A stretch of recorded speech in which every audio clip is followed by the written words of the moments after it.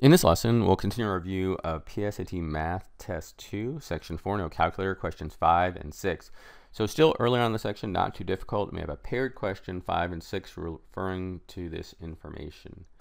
And so here we have the scatter plot above shows the number of hits and the number of times at bat by each of 20 Major League players on a Major League Baseball team the line of best fit for the data is shown. And so here on the y-axis, this is the number of hits, number of times at bat. So these are the individual observations, the line of best fit that best represents the data or a trend line. It has an upward slope. You should recognize that as the number of times of bat at bat increases, the number of hits increases. So we have two questions relating to this information. Number five, which of the following statements about the relationship between the number of times at bat and the number of hits is true?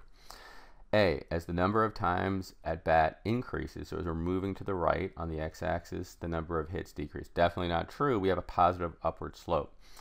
As the number of times at bat increases, the number of hits increases. This looks good, right? It's upward number of bats, hits increasing. Looks like B.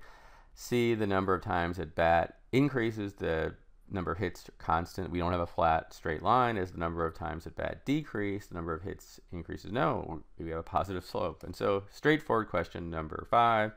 How about number six? For the player with 450 times at bat, the actual number of hits the player had is approximately how many fewer than the number of hits predicted by the line of best fit. So we're just talking about the player with 450 times at bat. So here's 300, here's 400. This is going to be 450, this line in the middle. And it's going to be Oops, sorry. This is 350. you gotta be read these graphs carefully. This is 450 right here. And I, I, I, knew as I was moving up there was no observation point, so I must have read something wrong. And so 450, here's the player. And if we go across, looks like he's almost exactly between 100 and, and 125. So we're going to say up maybe 112, 113, right? That's the actual amount. And we want to see how many fewer than the line of best fit. The line of best fit, we have to go and touch this line. And that's probably, it's really close to 125. Let's just call it maybe 123, right? 123. That's the um, line of best fit. And so it looks to be, again, you're not going to be exact, but there's there's no uncertainty. Is it going to be 10 or 20? It's definitely going to be 10. We estimated it was only one apart. It was 11. And so this is the answer, A.